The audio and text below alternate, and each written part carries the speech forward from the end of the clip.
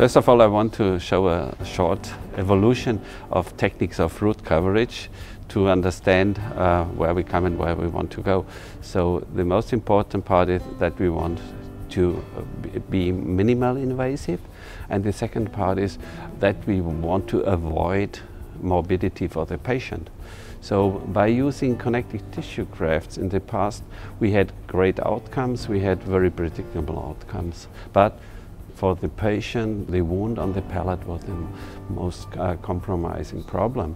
So of course we tried to get new materials where we can avoid harvesting from the palate to have a second wound and uh, by using uh, these uh, acellular matrices which were uh, started beginning of 2000s with allogenic materials we are now at the point we can use these porcine materials in Europe and uh, we're working now since three to four years with these materials.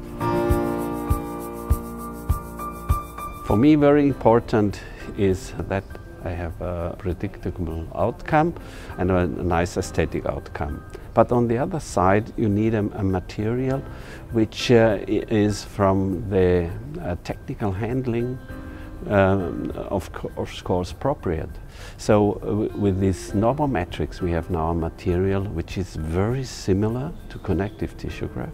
It's solid, it looks like fibrous tissue from the palate and it's um, a little smoother so it helps us especially in minimal invasive tunnel techniques to slip it in which could be a challenge with connective tissue grafts.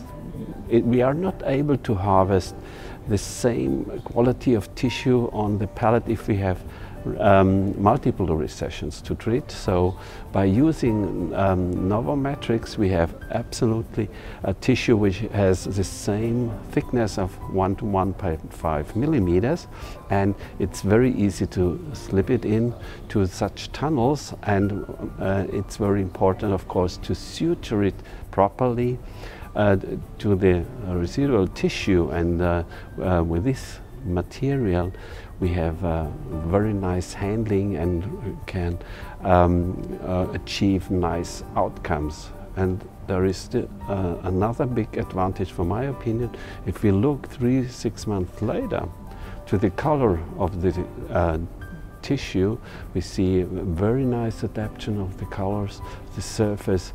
Um, uh, so I think um, by having now about three to four years experience that the aesthetic outcome is um, uh, might be better than with connective tissue grafts.